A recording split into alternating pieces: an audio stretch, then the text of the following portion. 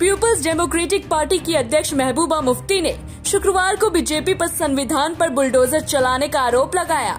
साथ ही उन्होंने कहा कि भगवा पार्टी के नेताओं के बीच मुसलमानों के घर और रोजी रोटी छीनने की होड़ लगी है।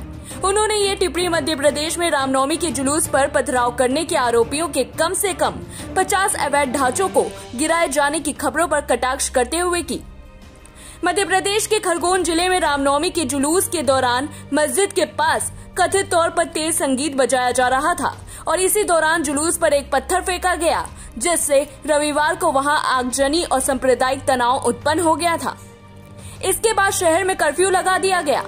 वहीं मध्य प्रदेश में सत्तारूढ़ बीजेपी सरकार ने कहा कि हिंसा के दौरान सार्वजनिक और निजी संपत्ति को हुए नुकसान की भरपाई दंगियों से की जाएगी।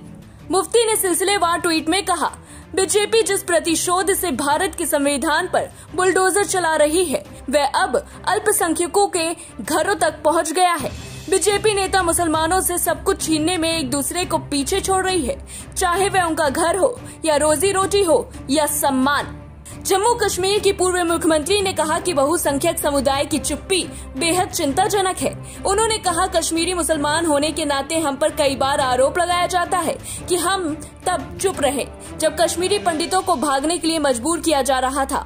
मुफ्ती ने कहा, लेकिन आज के भारत में बहुसंख्यक समुदाय की आपराधिक चुप्पी और बीजेपी का भारत के मूल विचार को खत्म करना बेहद चिंताजनक और परेशान करने वाला है।